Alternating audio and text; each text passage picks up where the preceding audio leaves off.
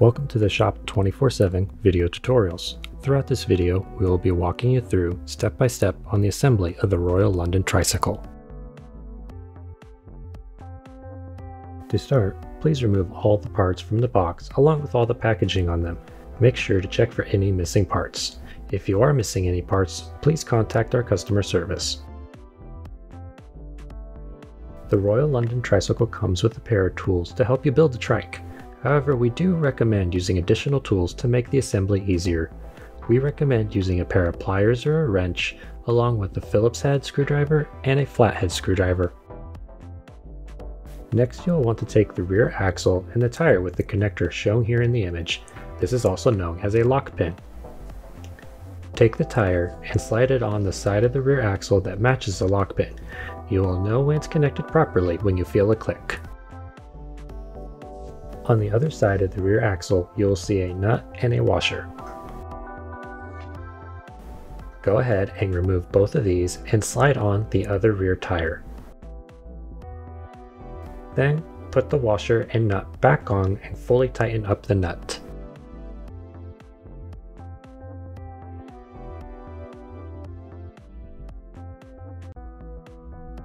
The rear assembly should now be complete and look like the following image. Next, we will be attaching the frame to the rear axle. With the frame in hand, slide it onto the rear axle with the bolts lining up into the grooves of both the frame and the rear axle.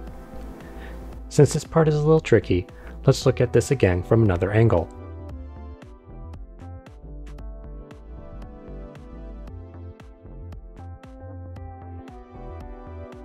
As you can see, all bolts are in the grooves of the frame and rear axle.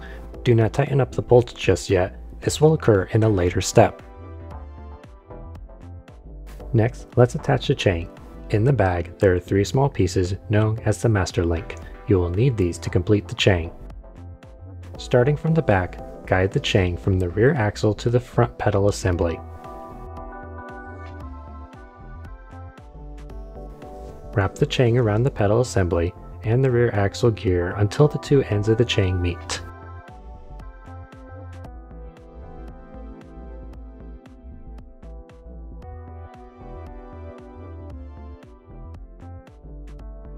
Due to manufacturing or items shifting during shipping of the product, the metal bracket for the chain guard may be in the way.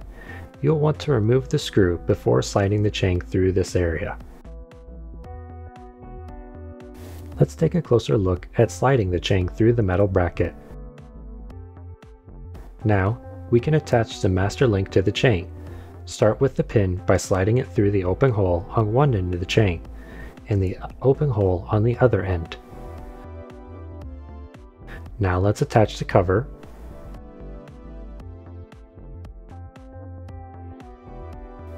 Then, attach the clip to lock the master pin to the chain we found it easier to use a pair of needle nose pliers to complete this step. Next, let's remove the screw on the metal bracket at the top of the chain, and the one on the frame near the middle of the chain. Now all three screws should be removed, including the one removed from earlier when we were attaching the chain. Next, bend the metal bracket at the bottom of the chain so it lays parallel to the floor. Now, Take the chain guard and maneuver it over the right pedal bar and line the holes up to where the screws previously were. Then reattach each screw. We found it easier to start with the bottom screw, then the top screw,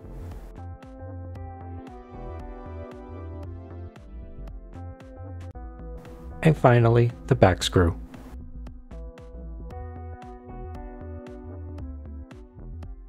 Now, let's tighten up the bolts on the frame from earlier. Using the included multi-tool shown in the image here, position it on the bolts where the frame and rear axle connect. Then, take a pair of pliers or a wrench and tighten up each bolt. The two bolts in the back do not require the use of the included multi-tool, but instead rely on being positioned into the cutout of the frame before being tightened. The next step is to attach the front tire guard. First, get a long bolt and a nut from the bag, like the set shown here in the image. Now, slide the tire guard through the back where the front tire goes and line up the latch on the tire guard to the hole of the frame. Next, put the bolt through the hole and out to the other side. Tighten up with the nut.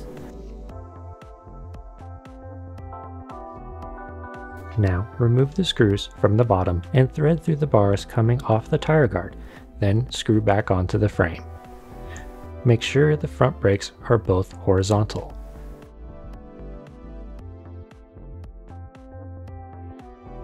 Now, let's attach the wheel to the front. Start by sliding the tire in place on the front of the frame. Make sure the washers with a latch on them are on the outside of the frame. Now, line up the latch on the washer to the hole on the frame, it should slide right in. Then, tighten up the bolt by hand, then repeat this for the other side.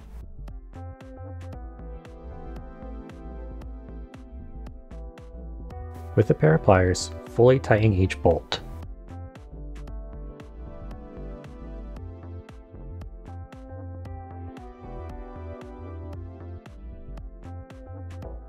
To attach the handlebars, start by removing the protective cover on the bottom.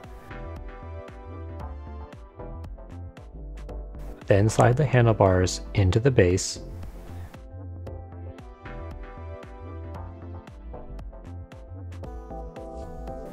Using the included hex key set, tighten up the screw in the middle of the handlebars.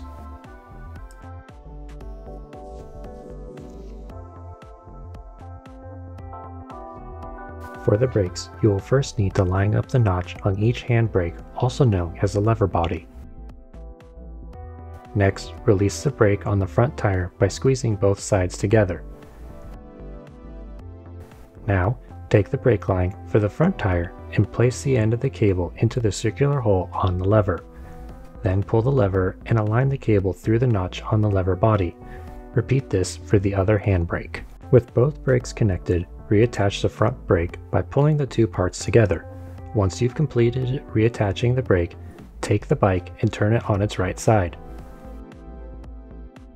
Find the spring from the bag and slide it over the rear brake line. Then, wrap the cable around under the nut shown here in the video. Finally, tighten up the nut so the cable stays in place. You will need to put the bike upright again for the next step. Next, let's attach the reflectors. There are six in total, three for the tires, two for the rear tire guards, and one for the front handlebars. Some of these parts are located in the back. Now, take one of the rear tire guards and a reflector. Unscrew the nut on the reflector and place the screw on the top hole of the tire guard. Then reattach the nut and tighten it up. Then repeat this for the other tire guard and reflector.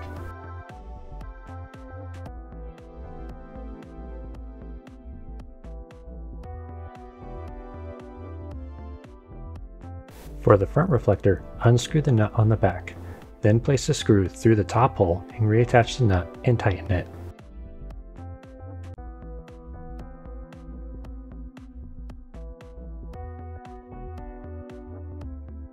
For the tires, find where three tire spokes are close together. Slide the reflector through the spokes and place the cap into the reflector with the grooves lining up with the spoke. Then, with a flathead screwdriver, twist the cap to lock in place. Finally, slide the reflector up so it's nice and snug in the spokes. Now, let's attach the rear tire guards. To start, you'll need 4 short bolts and 4 nuts, 2 for each tire guard. You will need to place the tire guard on the inside of the bracket of the rear axle, like shown here in the image. Then, slide the bolt through the holes of the tire guard. Then, attach the nut. Using the included multi-tool and a pair of pliers or a wrench, tighten up each nut.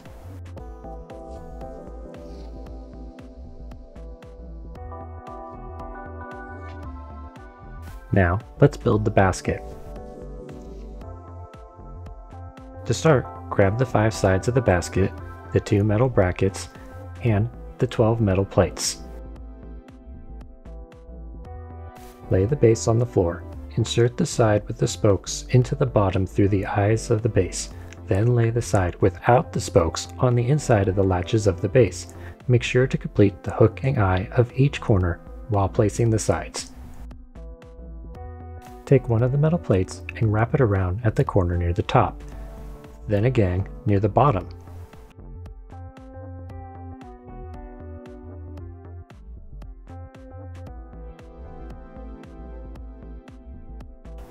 We found it easier to use pliers to crimp the metal plates.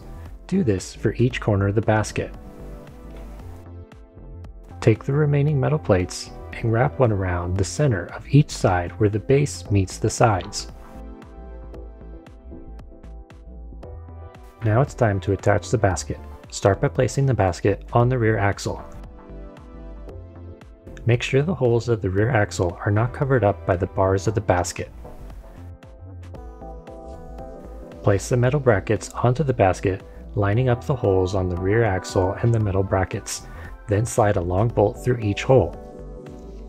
Attach a nut to each bolt. Then take a pair of pliers or a wrench along with a Phillips head screwdriver and tighten each nut. Now, let's attach the pedals. Each pedal is marked on which side of the trike it should go on. These are on the sides of the trike when you would be sitting on it. Take a look at the face of the, the threaded part to see the label on each pedal. Using the included multi-tool, attach each pedal and fully tighten. Please note that the left pedal rotates counterclockwise, whereas the right pedal is clockwise.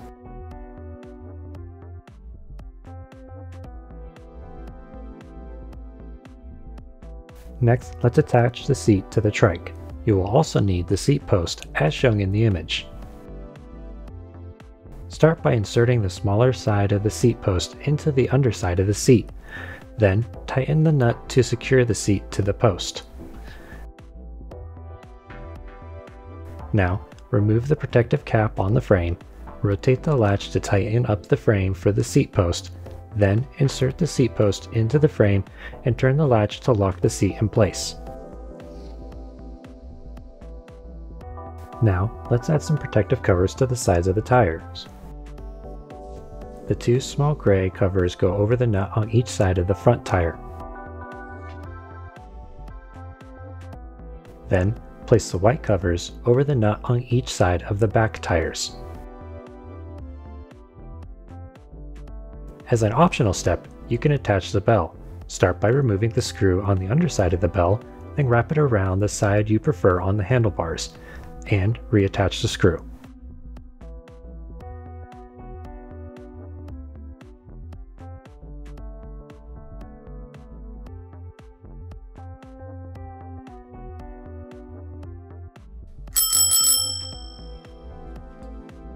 The final step, you will want to take the small metal caps found in the bag, placing one over the exposed wire of the front and rear brakes.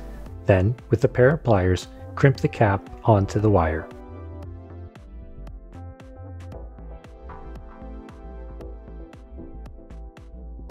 Once you fill up the tires with air and grab your helmet, you are ready to ride your new Royal London tricycle. Thank you for watching this video tutorial. If you need further help with assembly, please contact our customer service.